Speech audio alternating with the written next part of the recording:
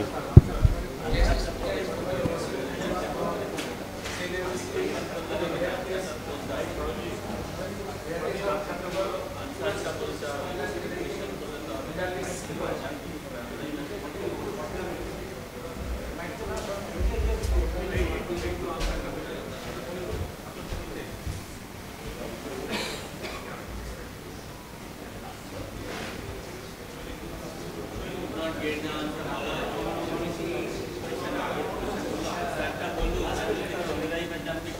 Good afternoon to my respected teachers and my colleagues. Today I am going to present a rare case of tuberous sclerosis complex uh, presenting with Wunderlich syndrome. 24 years male patient presented to us with history of hematuria and right-sided flank pain for uh, uh, 5 days. And patient was relatively asymptomatic before 5 days then he developed hematuria which was sudden onset, painless, gross, total, intermittent, relieved on taking medication, not associated with any inter, uh, not associated sorry, uh, it, it was associated with intermittent passage of uh, serpiginous clots. He also complained of uh, pain in the right lumbar region which was insidious in onset, intermittent dull aching, no radiation, no aggravating factor and partially relieved on medication. Patient has no history of dysuria or LUTS or fever or graveluria or pyuria. Patient has no history of any trauma or any bleeding tendency. Only positive history was uh, there is a history of convulsion two years back. In past history, significant was patient had a seizure disorder. For last two years, uh, he was on medication carbamazepine uh, twice uh, daily. No history of any similar com complaints in the family was present.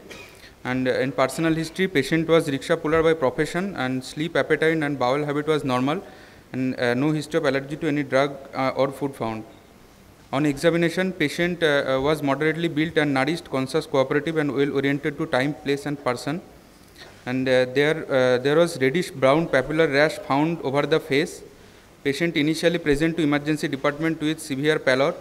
And uh, tachycardia was present uh, at that time. Uh, pulse was 100 per minute but bp was 110 by 76 other examination was within normal limit. Parabdominally uh, on inspection right sided lumbar region fullness was present and other findings are within normal limit on palpation, uh, patient had a solitary 12 into 10 centimeter lump in the right lumbar region extending to right hypochondrium and right iliac fossa which was firm, tender and with smooth surface with well defined margins and bladder, not, uh, bladder was not palpable.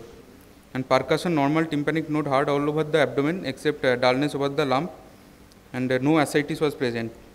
On auscultation, uh, normal bowel sounds found and uh, back and spine examination was essentially normal and other uh, system examination done which was normal. On examination, external genitalia and uh, the digital rectal examination uh, uh, was normal. This is the picture of the face of the uh, patient which shows multiple reddish brown, reddish brown papular rash over the nose, nasolabial fold and cheek and the chin region and also some plaque over the forehead. This is the CT scan pictures which shows uh, there is a, a, hematoma present in the uh, intrarenal part of the lower pole and a large mass. This is a coronal section shows uh, the right sided kidney, mid pole and lower pole all are replaced by the tumor. And CT scan report was suggestive of a mixed density uh, mass uh, with fatty components and uh, of size of 16 into 9 centimeter suggestive of angiomyolipoma. Uh, after uh, this examination and uh, with the CT picture of suggestive of angiomyolipoma and skin examination, we also evaluate the patient for presence of any, presence of tuberous sclerosis complex. So uh, MRI brain was done and uh, we can see there was a presence of subependymal nodule in the lateral ventricle and reports also uh, said that uh, there was some cortical tubers which was uh, uh, uh which was cons uh, consistent with uh, patient of tuberous sclerosis. And also HRCT chest was done in this patient and the finding was normal. Patient was initially managed conservatively and by IV fluid, antibiotics and 4 to five, 4 unit blood PRBC transfusion and after seven, uh, seven days patient uh, uh, had intermittent recurrent hematuria with persistent pain in the right sided flank region so we decided for uh, we decided for uh, decided for uh, surgical resection and patient underwent open simple right nephrectomy under general anesthesia. Postoperatively, patient was uh, doing fine and discharged on postoperative day 4. This was the uh, picture of the uh, specimen. Uh, the arrow shows that the small part of the upper pole which was most probably functioning and uh, the uh, rest of the part is replaced by the tumor. HP, HP report shows tumor composed of multiple tortuous thick-walled blood vessels, eosinophilic spindle cells, and clear cells mimicking adipocytes, suggestive of renal angiomyolipoma. At six-month postoperative follow-up, patient doing well. At present, patient is under follow-up in urology and neurology department. Thank you. Sir. Thank you.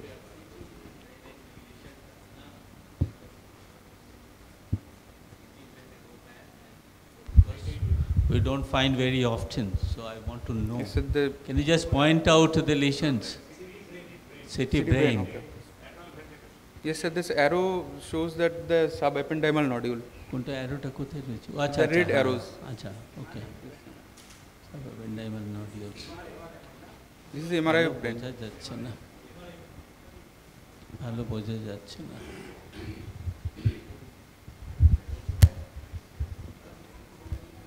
Any, any other question?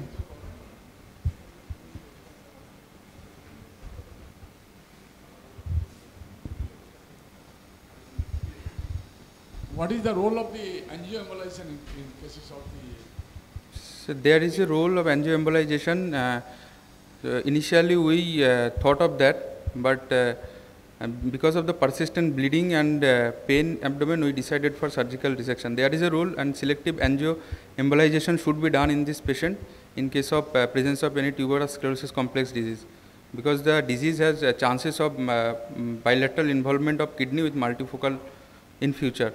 So we have decided for surgical resection after conservative management, but it was it failed. how, how the um, angioembolization is done? How it is done? Sir, we uh, do thin slice of CT CT angiography. Uh, you have seen angioembolization? No, no, sir. So you have read how it is done. What is the method called? What is the name of the method for angioembolization of the renal tumors? Uh, no, sir, I could not. What are the different materials for angioembolization? Materials used. What are the names of materials? Coil embolization, we can. One is the coil. Yes, sir. Then any other thing? What is very costly? Coil is usually not regularly used. Very much costly. Very much costly. Easily available things, sir. What are easily available things?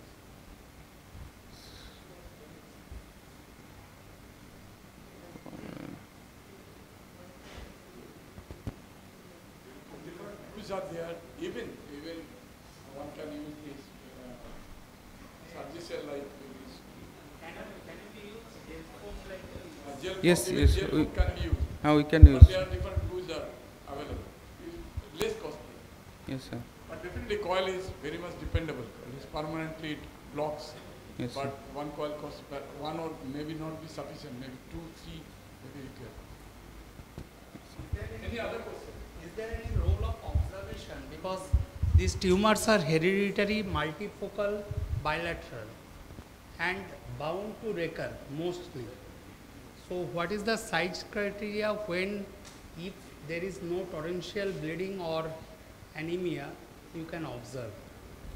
Sir, in a uh, less than 4 centimeter size tumor, uh, we can observe, and uh, if sir, CT angiography shows less than 5 millimeter uh, aneurysm is there, uh, intrarenal aneurysm of less than 5 millimeter, and if patient is in a reproductive age group, uh, uh, then we can have to intervene uh, even less than uh, 4 centimeter size uh, That tumor. was the last question. Sir, patient presents to us with in, a, in emergency department with uh, hematuria and uh, right-sided flank pain with pallor. With pallor. So Yes. Did he have any uh, signs of hemorrhagic shock? Tachycard, sir. What is Wunderlich? Your, your, your, your, your heading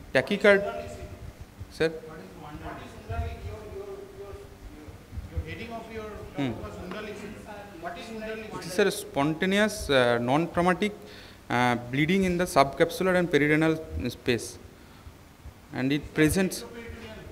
Yes, sir. Bleed which leads to Yes. This was not underlying symptom.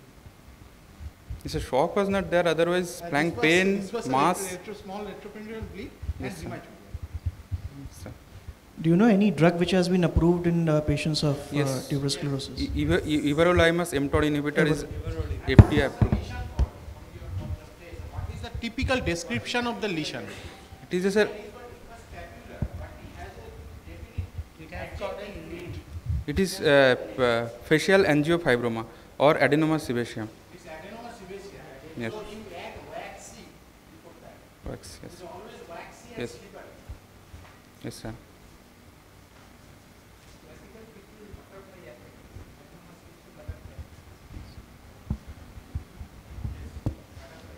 Okay, we can stop this. Okay, thank you.